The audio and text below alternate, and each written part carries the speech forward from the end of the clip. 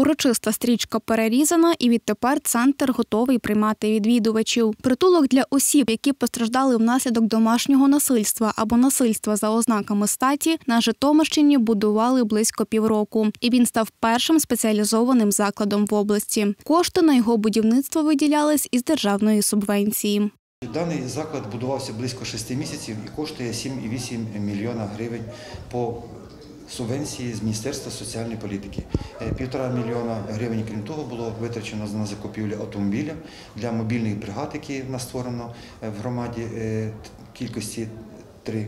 До центру можуть звертатися постраждалі з п'яти громад області. Однак притулок розрахований на 20 осіб, серед яких можуть бути як чоловіки, так і жінки з дітками. Проживатимуть вони у сучасних комфортних умовах, де є усе необхідне. Окрім прихистку, відвідувачі зможуть отримувати кваліфіковану допомогу, а також безоплатні правові консультації. Я думаю, що ми укладемо меморандум з цим центром, і тут ми будемо проводити такі дистанційні консультування. За необхідності наш працівник буде виїжджати і надавати правову допомогу прямо безпосередньо тут в притулку, щоб постраждалим не потрібно було рухатись чи до Жи- до Житомира.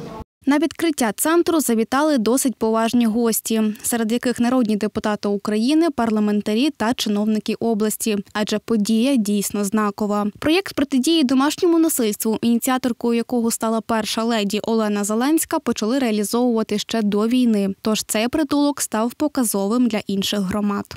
Ми не живемо в ідеальному світі, і для того, щоб е, рухатись до цивілізованих стандартів надання допомоги, для того, щоб все ж таки е, мати можливість якісно допомагати людям, які того потребують, е, саме потрібні такі центри, і вони потрібні не тільки там в таких.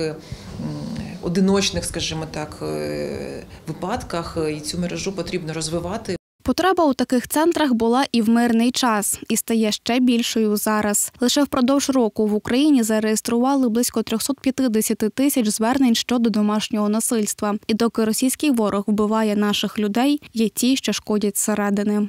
У нас є дуже великий ворог всередині. Це наші звички, наші підходи, старі наші розуміння, якісь застарілі, да, які якраз е, призводять до того, що таке явище в Україні, на жаль, ще є, його багато, і нам треба ще багато зробити, щоб його мінімізувати. Да. От якраз е, практика таких притулків для постраждалих від домашнього насильства, від насильства за сексуальною ознакою осіб, вона прийнята в всьому світі, в Європі в першу чергу.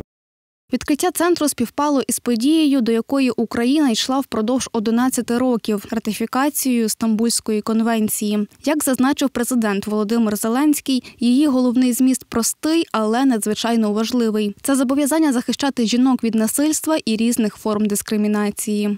Стамбульська конвенція допоможе нам, по-перше, стати складовою всесвітньої історії протидії насильству. По-друге, залучати європейські кошти, щоб продовжувати відкривати такі центри.